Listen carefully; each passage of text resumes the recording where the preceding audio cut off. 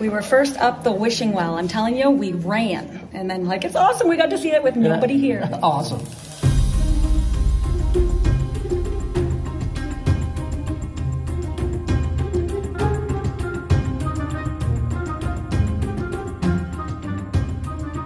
In the shadowy woodlands of Sintra, Portugal, there's a fascinating and mysterious destination known as Quinta da Regaleira. This site is renowned for its magnificent palace, constructed in 1904 by Antonio Monteiro, who had a deep interest in the Freemasons and the occult. The estate is adorned with symbols linked to the Knights of Templar and the Masonic lore.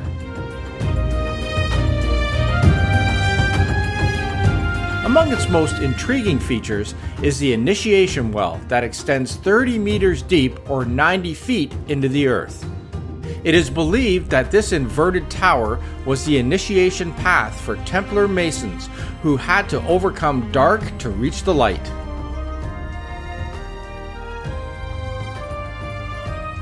Sintra is located 30 minutes from Lisbon, Portugal, and is a popular day trip from the city. We spent two days in Sintra exploring its fascinating castles and palaces. While Pena Palace and the Moorish Castle are the most popular places to visit, Quinta de Regaleira was a highlight for us and did not disappoint. So we made it here to Quinta de Regaleira here in Sintra, and uh, it's actually a beautiful park, but obviously the highlight is the initiation well. We got our tickets ahead of time online and arrived early to the main gate where the ticket holders go and got right to the front. So make sure you do that. As soon as the gate opens, you want to go ahead of the crowd as fast as you can. Don't meander. Be first to scan, scan your ticket and then just run to the well. Seriously. Or walk really fast. The good thing is, is they do have uh, a lot of signs just pointing where to get to the well, so you don't have to wander and wonder. Uh, there, it's good signage. Yeah, so we got in very first. It gave us time to actually take in the view, take some photos, do some selfies. It was fantastic. So we were in there for probably about two minutes to ourselves, I'd say. I'd say, yeah. Yeah, until the groups kind of came in and guides started saying, move along, move along. so, but it was great. It was nice to see. I would definitely recommend getting your tickets beforehand. Uh, unlike uh, Pena Palace, uh, there is no timed entry here, so uh, it opens at 10 o'clock in the morning. So getting here around, we arrived about, I would say, 9:15. 9.15, and there was already a lineup. So uh, yeah, get here early. If you're rolling around quarter to 10, you're going to be standing in a big line just to get in through the gate, even if you have your tickets.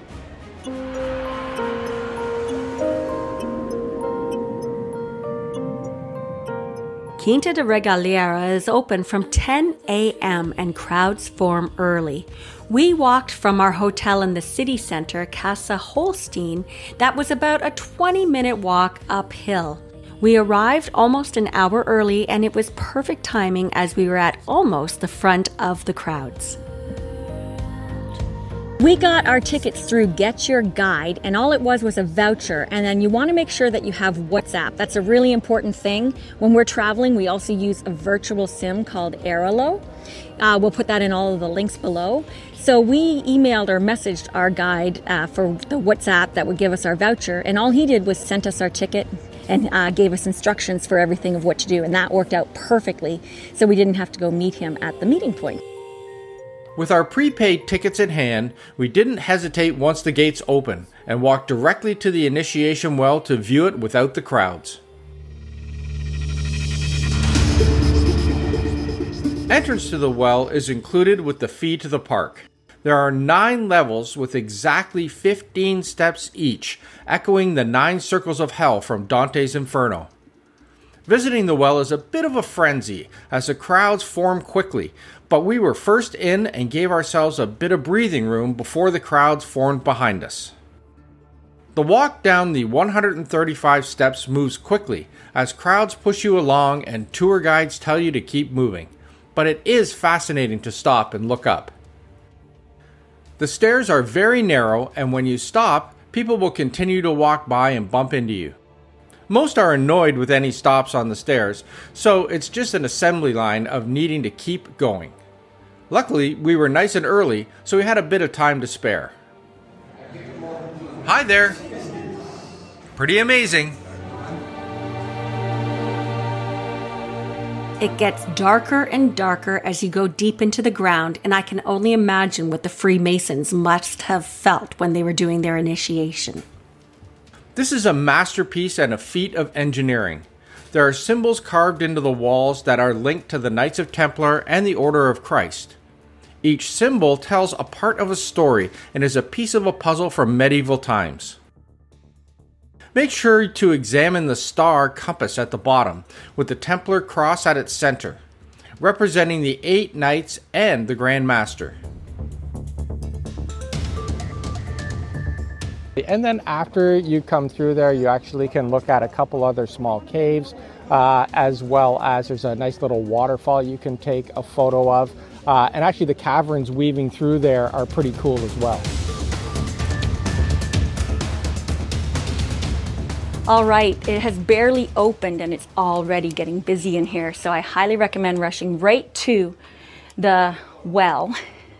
The tours have started. The caves are already filling up. And uh, it's neat to see though. It's very cool. As long as you're first. It's like anywhere nowadays. You have to be first. We were last at Pena Palace because we heard that was a good idea. But I think probably first was better. The secretive passages and the network of tunnels are said to hold Masonic secrets, and they connect different parts of the estate. The caves are quite tight in places, and there isn't a lot of signage. But you'll be able to find your way out eventually, so just relax and enjoy the maze. It's a very cool experience to contemplate the rituals that once took place in these secretive tunnels. Then once you're done the initiation well, you can walk down and meander your way through the pass down to the palace and take a look and spend as much time as you like here in the gardens. It's a nice cool place to spend some time as well as it does get pretty hot here. Thanks for exploring the initiation well with us. Don't forget to like, share, and subscribe for more adventures. Until next time, keep exploring the mysteries around you. That's it.